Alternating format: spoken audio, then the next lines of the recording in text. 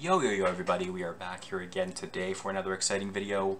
Yet again back here with some more Pokemon card pack openings. I've got a little bit of an addiction going now. We've this channel has pretty much become a Pokemon pack opening channel, which is honestly okay with me. Um, I haven't done much gaming recently, um, and I've been really enjoying opening up packs, and the pack opening videos have been actually performing really well on the channel, so um, I'm definitely enjoying it. I'm glad you guys are enjoying it as well. Um, so today we have, I believe, four, five, six, only seven packs to open um, here in this episode, but we're doing some sets that we haven't actually done before, so I'm pretty excited. Um, set number one is Sun and Moon Forbidden Light. We have four of those, and then we also have three Fates Collide packs, which I'm pretty excited about. So I believe these packs were like pretty much 10 or 11 dollars um, at my local Gamezilla, and these ones were five to seven. I honestly I can't remember. Um, but yeah, so I think we're gonna rip open the Forbidden Light first. Um, so this is the just because it's the one we have the most of, and I think there are some more valuable cards in the uh, over on the Fates Collide set. So so we do not get the good code card here, although I know there are some sets that the code card doesn't matter. I really don't know if this is one of them or not. Um, I really, really, really don't know. I think it's four to the front for the Sun and Moon sets, so I think that's what we'll do. Um, so we start with a electric type energy. Then we have, oh my god, okay, wait.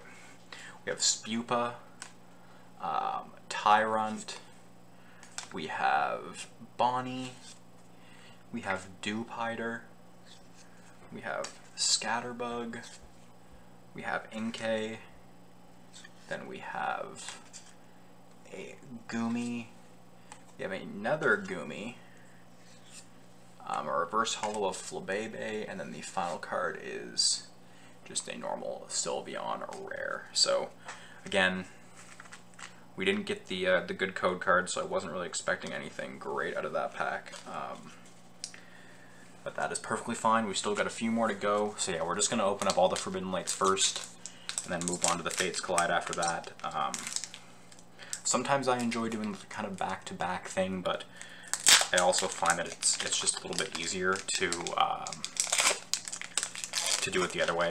Um, and also I will say that uh, the code cards will be in the description of this video. I know in, I think, there are some video, it's kind of hit or miss. It depends on the way I'm recording the videos, but sometimes the video will be kind of, um, like the, the code cards will be actually shown in the video, sometimes they'll be in the description. It's been kind of hit or miss, and I really haven't figured out the way that I like to do it best. Um, again, I'm still fairly new to the whole opening cards, uh, you know, on YouTube thing. So just bear with me. We'll get there. Um, any suggestions are would be very great. And um, now we have this next pack open. Can't even speak English. Now that we have this next pack open, we see we get another bad code card here. But we do now know that for this set it is the good old four to the front. Okay, so we start ourselves off with a grass type energy. Then we have a Gabite.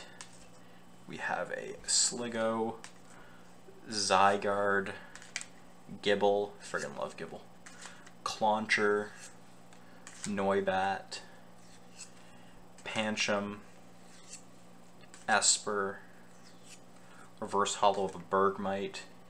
The final card is an Avalugg. So again, we haven't really seen much luck here so far, but that doesn't mean that the luck will not come. Um, we're only two packs in out of seven, so we still got time to make a good pull. Um, still two more Forbidden Light card or two more Forbidden Light packs left as well, so still some time for these packs to redeem themselves, although it's looking like it's not going to be this third pack that does it.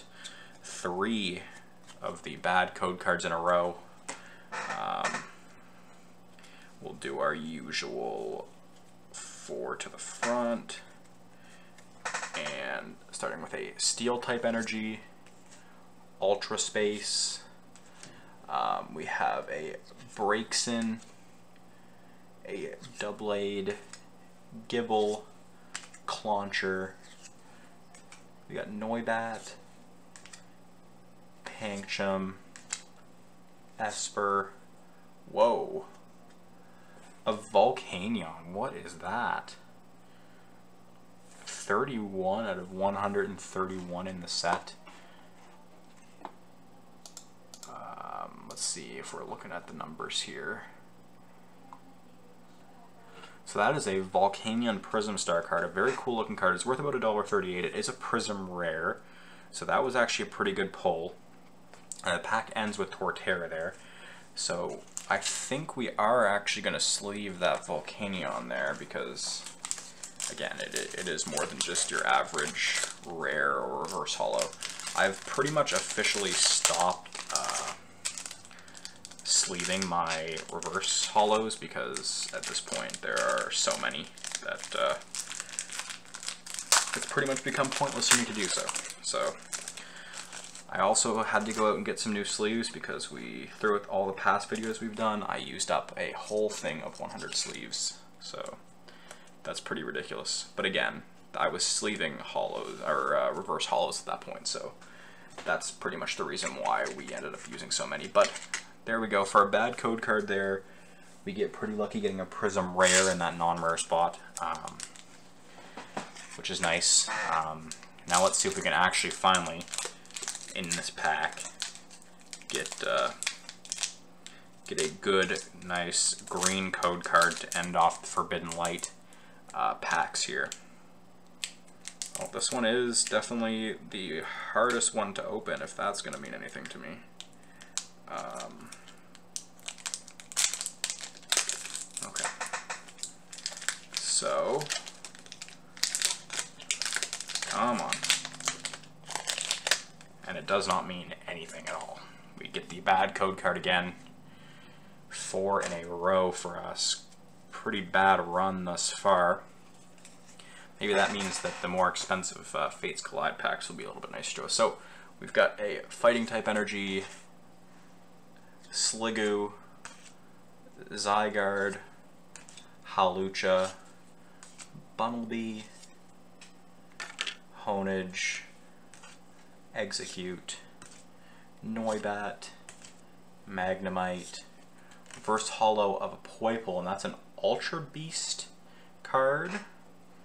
And then we have a Florges at the end. So I don't know what the Ultra Beast cards are, but it's number 55 in the set.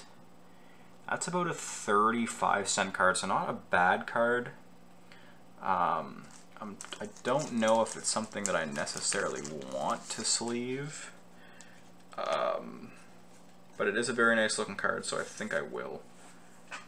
Um, so that right there was the end of the Forbidden Light packs. Um, fairly unlucky there, but again, I'm just kind of hoping that that means that uh, the Fates Collide set might be a, uh, a little bit nicer to us here. Um, so just give me one quick second to kind of switch over to the um, the Fates Collide set on the TCG price guide. Okay, that was quick. Um, and now we can get these packs open.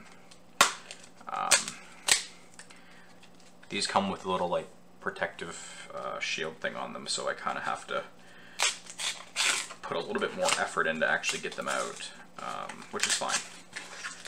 Um, there's one. Then we've got the second one here. So I believe with the X and Y set, this is the set that has the, the three to the front, uh, three to the front card trick, I would, I believe. I think the four to the front only started with Sun and Moon, but uh, I guess we'll find out. Okay, so got the three packs out now.